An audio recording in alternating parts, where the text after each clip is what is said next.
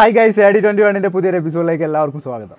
Red കാർഡുകൾ football കളിയിലെ സ്ഥിരം കാഴ്ച അല്ലെങ്കിലും ഒത്തിരി റെഡ് കാർഡ് കിട്ടിയ ഒത്തിരി താരങ്ങളുണ്ട് അല്ലേ? എന്നാൽ നിങ്ങൾ എപ്പോഴെങ്കിലും ചിന്തിച്ചിട്ടുണ്ടോ ആദ്യമായിട്ട് റെഡ് കാർഡ് കിട്ടിയ താരം ആരാണ് എന്നുള്ളത്?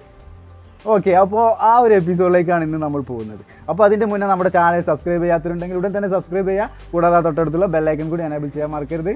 ഓക്കെ ഈ റെഡ് കാർഡ് ആദ്യമായിട്ട് ഫിഫ കൊണ്ടുവരുന്നത് ആയിരത്തി തൊള്ളായിരത്തി എഴുപത് ലോകകപ്പിലായിരുന്നു. പക്ഷേ ആ ലോകകപ്പ് കഴിഞ്ഞപ്പോഴേക്കും ആർക്കും ഒരു റെഡ് കാർഡ് പോലും കിട്ടിയിരുന്നില്ല. എന്നാൽ ആയിരത്തി തൊള്ളായിരത്തി എഴുപത്തി നാലിൽ ചിലി താരം കാർലോസ് കോസലി ഫസ്റ്റ് റെഡ് കാർഡിന് ഇരയായി. ആ ഒരു മത്സരം ചിലിയും ജർമ്മനിയും തമ്മിലായിരുന്നു.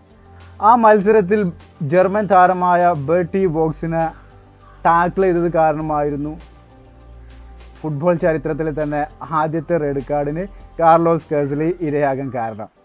അത് ചരിത്രത്തിൽ രേഖപ്പെടുത്തി. ആദ്യമായിട്ട് റെഡ് കാർഡ് കിട്ടിയ താരം കാർലോസ് കസ്ലി ചിലിയൻ താരമായിരുന്നു. ഓക്കെ അപ്പോൾ അന്ന് തൊട്ട് പിന്നെ റെഡ് കാർഡുകൾ അങ്ങനെ കിട്ടാൻ തുടങ്ങി. ഇപ്പോൾ റെഡ് കാർഡുകൾ ഒരു പുതുമയുള്ള കാര്യമായി മാറിയിട്ടില്ല. എപ്പോഴും അതൊരു കൗതുക കാര്യമായിട്ടൊന്നും ഇപ്പോൾ ആർക്കും തോന്നുന്നില്ല അല്ലേ? പ്രമുഖ കളിക്കാർക്ക് എല്ലാവർക്കും തന്നെ റെഡ് കാർഡ് കിട്ടുന്നുണ്ട്. ഓക്കെ ഗൈസ് അപ്പോൾ എന്തായാലും ഫുട്ബോൾ ലോകത്തെ കൗതുക വാർത്തകളും ഫുട്ബോൾ അപ്ഡേറ്റ്സുമായിട്ട് നമുക്ക് വീണ്ടും കാണാം. അതുവരെ